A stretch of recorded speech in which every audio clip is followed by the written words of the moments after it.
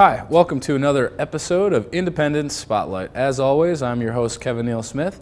I recently had a chance to sit down with the owner of Bowman Chevrolet and Bowman Auto Center for a brief chat. Let's take a look. Hey everybody, welcome to another episode of Independence Spotlight. I'm Kevin Smith, joined by Katie Bowman at the Bowman Auto Center.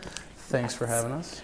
You are very welcome. Thank you for being here. Absolutely. So, give me a little bit of a rundown of your personal history, if you will. How did you find yourself in this chair? Well, let's see. I have um, I moved my office up here probably five years ago. So. In this particular chair, five years ago, but um, no, getting into the business, um, I had started out in clothing retail. Mm-hmm. Um, I always liked, you know, fashion and kind of, you know, that part of retail. So I was in that business about seven years after college. I worked for Ralph Lauren, um, Polo Corporation. That's cool. In New York City, and I went to Sydney, Australia, and then I came back to Michigan because I really wanted to be back in Michigan, you know, to settle down and, and build my life. And um, that's when my dad said, "Why don't you come work for me?" Mm-hmm. And he reminded me that selling cars is still a retail you know business so oh, yeah. yeah. and there were a lot of parallels and it only took me about like three, four months, and then I realized, you know, how cool it was and how much there was to learn and, you know, how many things I could do that were similar, you know, to what I had been doing before, but um, in, in Michigan, which is where I wanted to be. So I got really lucky, and yeah. I'm really thankful that, that, you know, my dad asked me to come work with him. Perfect. Yeah. Now, you said you, you came to find you really enjoyed it. What's one thing you really enjoy about it? I think really the people, um, the way to connect to uh, my employees and also to the customers and to the community. Um, that's what I had really enjoyed with, with fashion, and I think you know shared a love of, of that in my life. But really, you know, it gets down to your you know connections and relationships that you build um, in your business. Uh, and I love cars, and I, I think it's obviously such an important aspect of people's lives how they you know get around, and you have to have good, reliable transportation. So you know, it just kind of uh, translated to that, and I I still love the people part the most. Oh, I bet. I mean, I see you guys out in the community everywhere yes. at every event. So, what are some of the events or services you, you kind of collaborate with or provide? Yeah, so um, my dad had started uh, partnering with uh, local charities um, when he first started the business. And so I continued that and then added a couple extra charities that were, you know, close to my heart. So um, we've supported Easter Seals, um, SCAMP, uh, My Habitat Clarkston, Clarkston Area Youth Assistance. Uh, those are our four main charities, and I've added on the Crohn's and Colitis Foundation.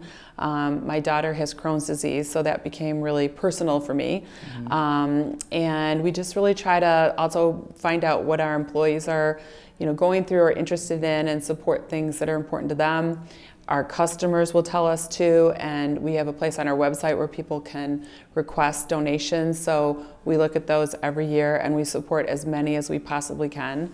So I think like in terms of um, our ability to host events, that uh, uh, expanded when we bought this building, Bowman Auto Center, in 2013, um, because it's a really, really big showroom and lots of parking. So we were able to like let Easter Seals um, have their Cheers Gala here, mm-hmm. and then they eventually outgrew us, which is wonderful. That's the idea. In Rochester Mills. Now, yes, right? yep. Now it's at Rochester Mills, um, and then um, My Habitat Clarkston is. Um, I think this will be our third year hosting their spring gala, and that's gone well and grown mm-hmm. each year. So hopefully they'll outgrow us.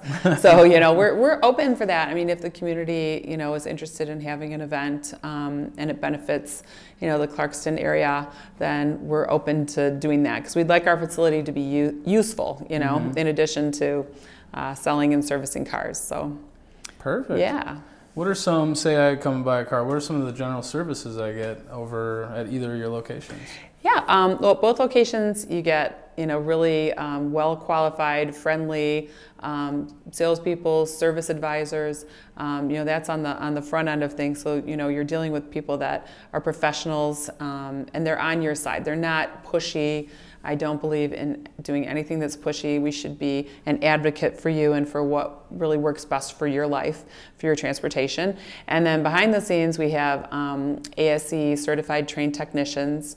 Um, we have a master, two master techs, and we have techs that have gone up, you know, in their training to the highest levels that are available in the state and in the country. That's awesome. Um, it really is awesome, and it's important when you're, you know, taking care of your car. Thanks for having this quick sit down with us. Oh, you're so It was welcome. really great. Thanks for being here.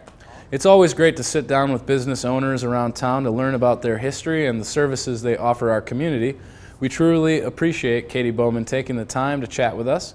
Up next, we would like to share a video that our very own intern Kyle put together. It's about clean water. Let's take a look. A Vision for Clean Water was started in 2003 to bring safe drinking water and sanitation to those who need it through education and collaboration.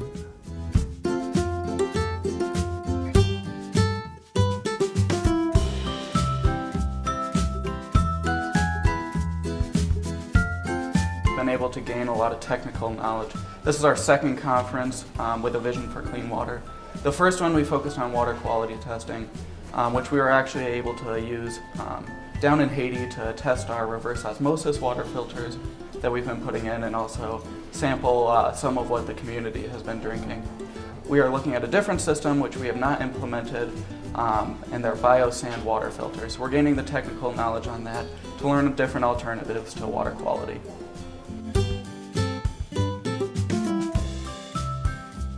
Uh, in our country, uh, we are working on developing the uh, household water treatment and safe storage uh, technology uh, manual. So I'm trying to include this biosand filter also as one of the technology in our country.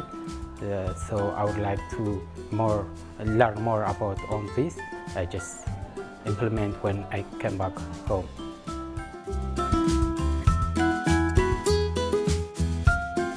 So you see um, that by providing this forum, uh, we're basically starting a snowball effect so that the information can spread through other people, through, through different countries, uh, uh, hopefully around the world.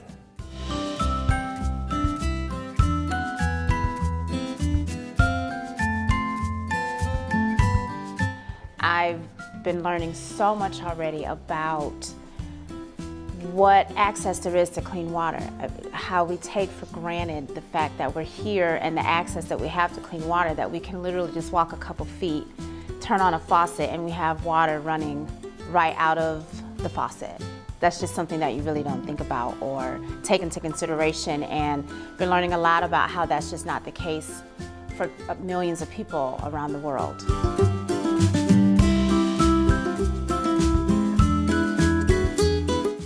The filters that we're bringing have to be low cost. The people we help often only earn one to three dollars a day. So they can't have wires and they can't have replaceable filters. And when we leave, we have to know that that filter will work for them perfectly for a long, long time.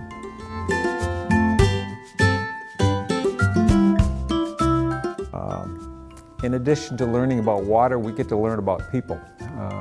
As a volunteer, we pick people up at the airports, um, bring them up, have them overnight in our homes, and it's a real pleasure to get them, get to meet these people.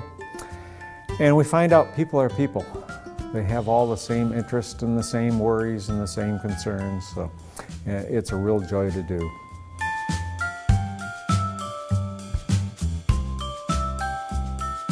I'm going to use this workshop um, with the information that I learned last year to sort of design a project that's going to be used to um, offer the residents at that location uh, opportunities to clean water um, and also different techniques to sanitize the water and just bring about um, water treatment.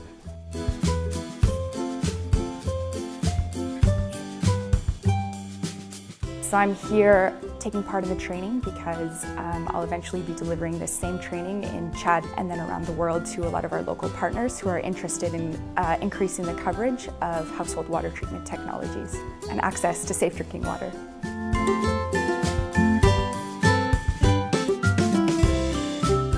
You understand the world around you better.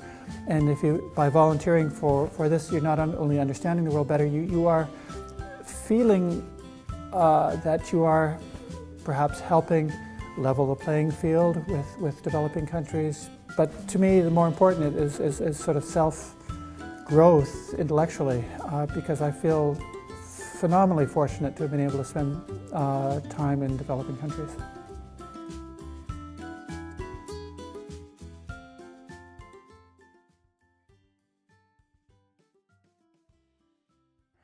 Kyle did a great job with that video. If you want to see it again or share it with someone, you can find it on our YouTube page. It's fall, and that means the Rotary held its annual fall wine tasting. We have a quick montage for you we'd like to share. Let's take a look.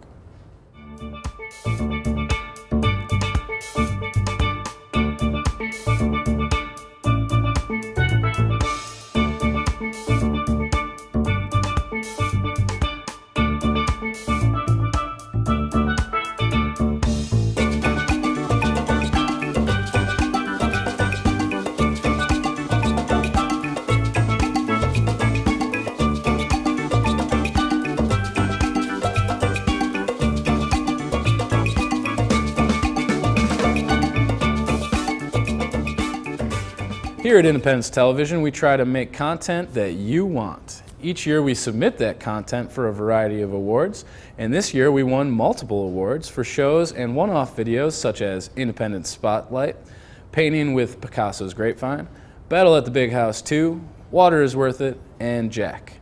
If you have not seen any of these, you can check them out on our YouTube page and our Facebook page. Speaking of community content, we recently created a series of new ITV promos and we will be releasing them over the next few weeks. These videos speak to why ITV is so important to this community from the community perspective. As we leave you today, we would like to share one of those videos. We will be posting the entire series, including this one, on our YouTube page and on our Facebook page over time. As always, you can follow us on Facebook, Twitter, and YouTube. If you have an event or show you would like to make, contact us at 248 623 3661. Have a good one.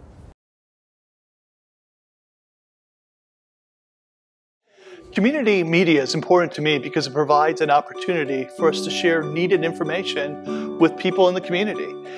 Talking to people one on one is awesome, but I can give information that's very important and beneficial and provide change. And without this community media, that would not be possible.